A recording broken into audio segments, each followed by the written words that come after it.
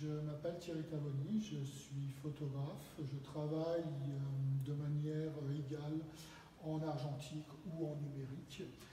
La série qui est présentée euh, ici est une série entièrement faite en numérique. Euh, voilà, elles peuvent paraître abstraites et pourtant elles sont directement tirées de la nature, à savoir des algues, du sable, des rochers.